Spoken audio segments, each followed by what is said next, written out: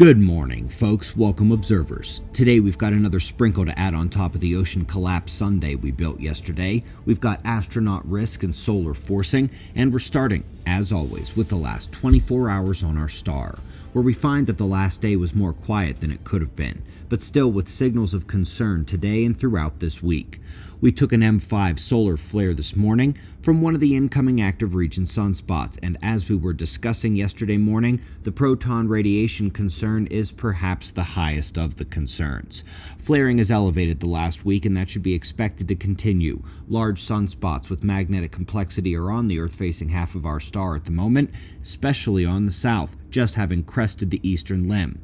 This one is the largest, but luckily its flaring hasn't matched its size due to a fairly stable magnetic setup the last two days. We have a largely split magnetic character to the active region. Those areas in the central corridor of umbral development, where blue and red are close together, is where the flare triggering would be born, right in the middle. And if that happens, it could be bad. We are in a level 2 proton radiation storm at the moment here on Earth, and that's not great because those are extremely concentrated towards the polar region, where several astronauts are on a multi day mission that is the first ever polar orbit of humans. Now, there's a very good reason we haven't tried that before. There are risks, and one is already stirring. Eyes open, folks. Those astronauts are already taking a bit extra radiation up there. We're watching closely in the days ahead for more.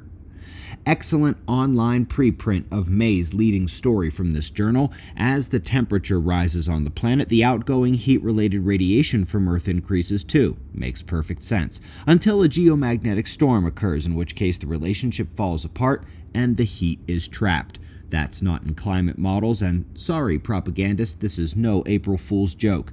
Time to put the sun, geomagnetism, and particle forcing where it belongs in climate models.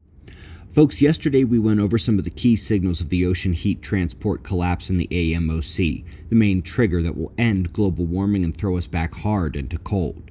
We went over where those signals are seen creeping towards now, even at the great depths below the surface, and today we let these guys chime in, some of the best on Earth, and their conclusion this AMOC ocean system is far less stable than the models are guessing. She's heading towards the cliff now, with most likely collapse timelines being early 2040s. Sound familiar, huh, observers?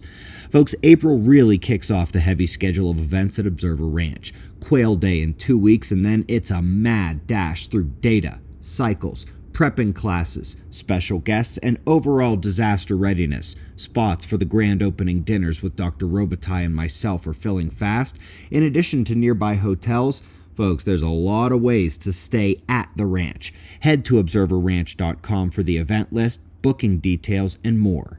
And for those who get Observer Review, our e magazine, we're doing Jupiter for the monthly special issue coming out tomorrow. Jupiter is the most changing planet in the ongoing solar system shift, and breaking down its various changes is a key aspect of this cycle event. You can access all issues anytime when you subscribe to the e magazine. Link is below. All links are below, actually. The e magazine Observer Review, Observer Ranch, and much more. We greatly appreciate your support. We'll do this all again tomorrow. Right here, but right now it's 5:30 a.m. in the new Valley of the Sun. Eyes open, no fear. Be safe, everyone.